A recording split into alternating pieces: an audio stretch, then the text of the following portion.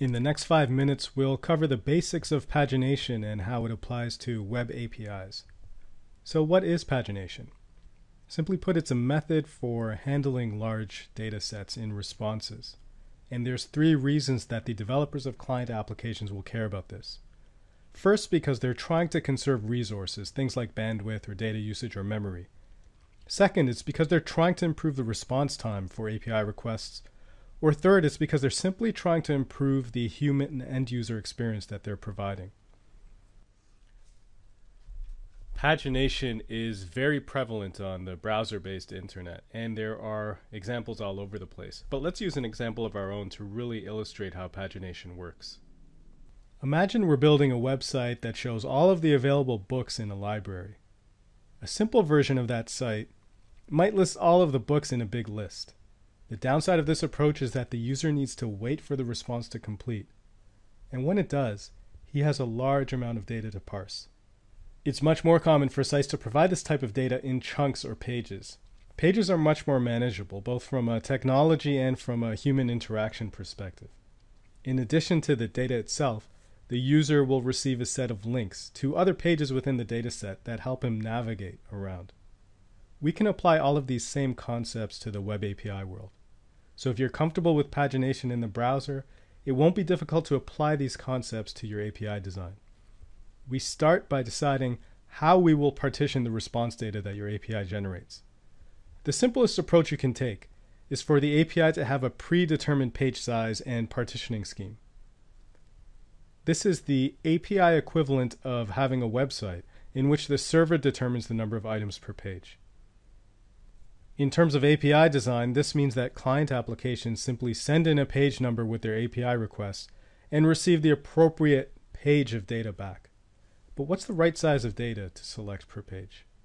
Figuring that out for a diverse set of client applications can be tough because the answer will be dependent on many factors, including the platform that the app is deployed on, the user experience that the application is trying to project, and even the type of network that the app is using to make its calls.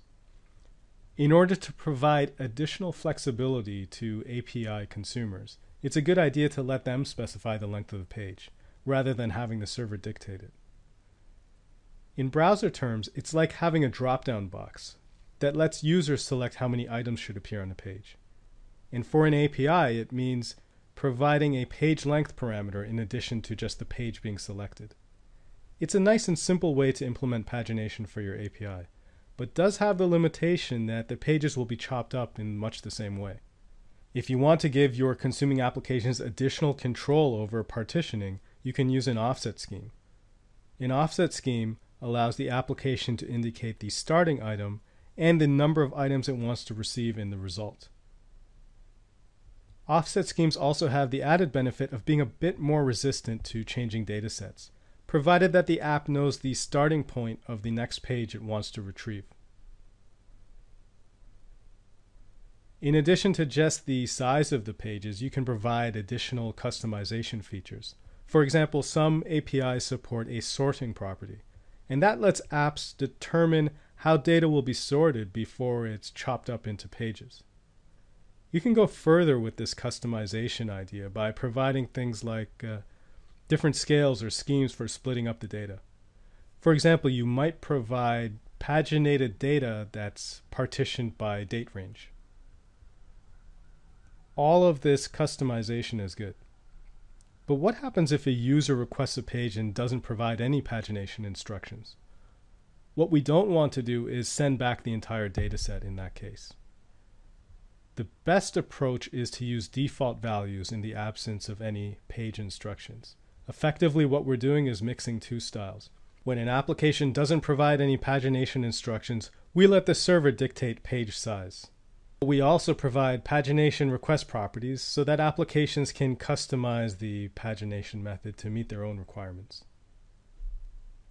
Just like human users, applications using your API will need a way to navigate through these pages.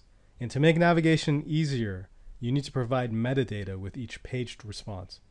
This includes things like the number of pages or items available, the last time the dataset was updated, or maybe an e tag indicating if the data has been changed, as well as the current location within the dataset. In addition to that basic data, providing hyperlinks to other pages within the dataset will make it much easier for consumer applications to navigate through your API. In particular, it means they won't have to construct their own URLs or calculate their own offsets. When making these links, don't forget to take advantage of existing naming standards. Use words like prev and next for your rel attributes, as these will be very familiar to developers and will make the interface feel simpler. So let's wrap this episode up. Pagination is a useful way of splitting up large data sets. Just like the web, nowadays developers expect APIs to provide paginations for collections of data.